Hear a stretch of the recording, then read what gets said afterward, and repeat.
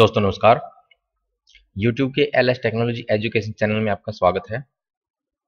और दोस्तों, अगर आपने हमारा चैनल अब तक सब्सक्राइब नहीं किया तो प्लीज़ आप इसको सब्सक्राइब ज़रूर कर लें। तो चलिए, दोस्तों, आज बात करेंगे हम ब्लेंडर के ट्यूटोरियल में लूप कट्स कैसे लगाते हैं। देखिए, जैसे हमारे पास ये ऑब्जेक्ट है क्यूब है, जो बाई डिफ़ॉल्ट में यहाँ पे मिलता है। तो दोस्तों इसकी मैं थोड़ी स्केलिंग करके बड़ा कर लेता हूँ ताकि आप इसको अच्छी तरह से देख पाए। ठीक है? ये रहा। अब देखिए इसमें कोई कट्स नहीं है। सिंगल फेसिस है यहाँ पे। सिंगल फेसिस वर्टाइसेस और वर्टिक्स वर्टेक्स और एज है दोस्तों। ठीक है?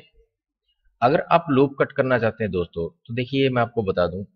यहाँ पे देखिए आपने मेरे जो पिछले ट्यूटोरियल देखे उनमें मैंने आपको बताया था कि यहाँ पे जो है, ये है जो ये फेसिस दिखा सॉरी एजेस दिखाई दे रहे जो अभी ऑरेंज से कलर में दिखाई दे रही है। इनको बोलते हैं एज ठीक है, ये यहाँ पे और यहाँ पे जो है।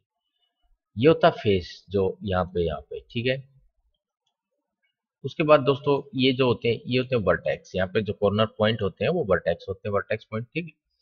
तो चलिए, इसको हमें जो लूप कट देना चाहते हैं, वो कैसे दें दोस्तों? सबसे पहले हमें इसको एडिट मोड में जाना पड़ेगा। देखिए दोस्तों जब भी हम एडिट मोड में जाएँगे तो देखिए शॉर्टकट एडिट मोड की है टैब बटन आप प्रेस करें।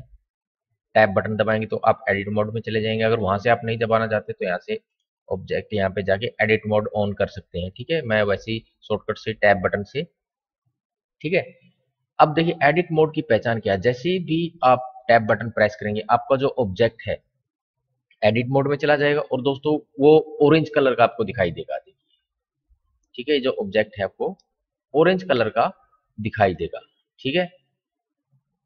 तो यहाँ पे दोस्तों हमें करना क्या है वो मैं आपको बता देता हूँ।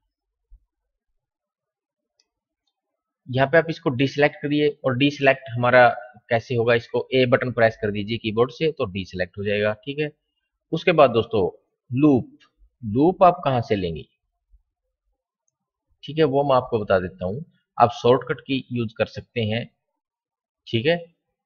आप जैसे ही लूप लें आपको मैं बता दूँ आप शॉर्टकट की यूज़ करें कंट्रोल प्लस आर ठीक है कंट्रोल प्लस आर आपकी जो शॉर्टकट की आ, क्या काम करेगी? जैसे आप ऑब्जेक्ट के ऊपर जाएँगे क्यूब के ऊपर जाए आपके पास जो भी ऑब्जेक्ट हो वो आपको एक आ, जो है पिंक कलर में एक आपको लाइन दिखाएगा चारों तरफ़ एजिस दिखाएगा कि आप इस साइड से आप इसको जो है कट करना चाहते हैं या फिर इस साइड से कट करना चाहते हैं या फिर इस साइड से आप इसको कट करना चाहते हैं।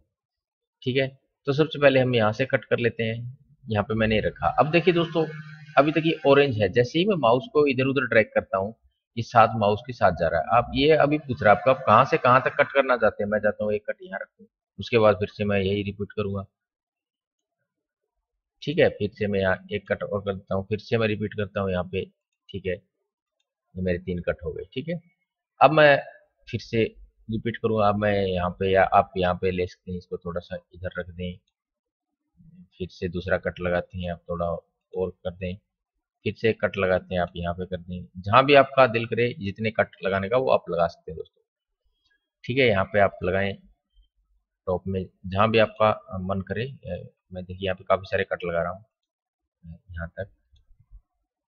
और सिर्फ़ एक ही कट यहाँ करें। ठीक है? ये मेरे इतने कट्स हो गए दोस्तों। अब देखिए डिसलेक्ट करता हूँ यहाँ पे देखिए, जो हमारी क्यूब थी, इतने सारे कट्स में कन्वर्ट हो गई। कोई देखिए साइज़ सेम नहीं है।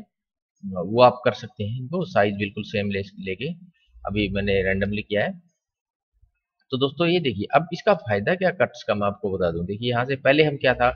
इस फेस को अगर सेलेक्ट करते तो पूरा फेस जो हमारा सेलेक्ट होता था। लेकिन अब कट्स के द्वारा हम इनको जो एक एक कट है लूप का जो, उसको हम एक एक कट को सेलेक्ट कर सकते हैं दोस्तों। ठीक है? देखिए सेलेक्ट अभी आप जिसको भी सेलेक्ट करना चाहें। अब सबसे पहले आपको सेलेक्ट क्या करना है? देखिए, यहाँ से आप, अभी तो वर्टेक्स सेलेक्ट है। ठीक है? अगर दोस्तों आप चाहते हैं इसका सेलेक्ट आपको सेलेक्ट क्या करना है? एक पेज सेलेक्ट करना तो दोस्तों आपको एक की थी जो मैंने पिछले ट्यूटोरियल में आपको बताई है। कोई भी फेस अगर आपको सेलेक्ट करना है एडिट मोड में तो आप क्या करें? कंट्रोल और